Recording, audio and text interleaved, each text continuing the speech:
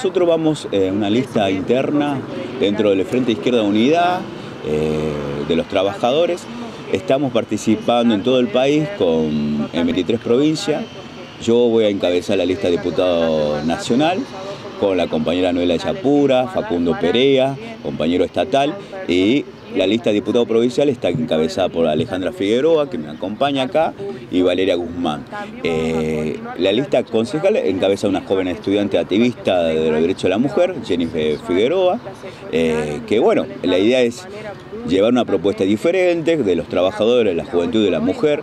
que nosotros vamos con una propuesta basta de privilegios a los, a los políticos, que ganen como una docente, que ganen como un trabajador eh, común, eh, eh, que usen lo público, que usen todos los servicios ah,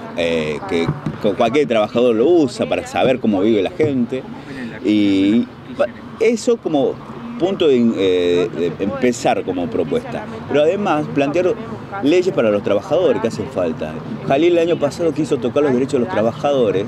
con reformas laborales que generaría más precariedad laboral, genera más eh, salario de pobreza y nosotros vamos a plantear un proyecto de ley que un salario, un salario de un trabajador no cobre menos que lo que dice el punto de índice de, la, de inflación, que sea actualizado cada vez seis meses, cada seis meses por ley, actualizado acorde a los índices de inflación. Hoy, ¿Qué pasó que no hubo acuerdo con el Polo Obrero, con la lista de unidad? Bueno,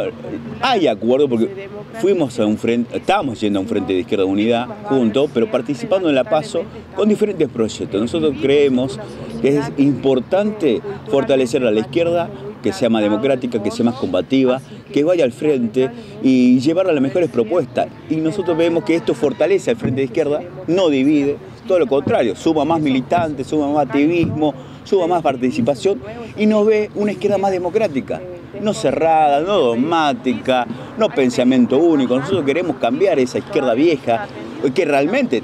eh, ese pensamiento reinó en la izquierda general, el pensamiento único, el dogmatismo, y nosotros vemos que es necesario para este momento de post-pandemia, de crisis social, una izquierda nueva, democrática, combativa, amplia, amplia, que sume a varios sectores, no sea cerrada y que junte más gente para tratar de una vez por todas disputar el poder y cambiar como pasa en Perú, como está pasando en Colombia, en Chile, en otros lados de Latinoamérica, que la izquierda puede ser protagonista de grandes cambios, pero hace falta de ser, dejar de ser conservadores y dogmatismo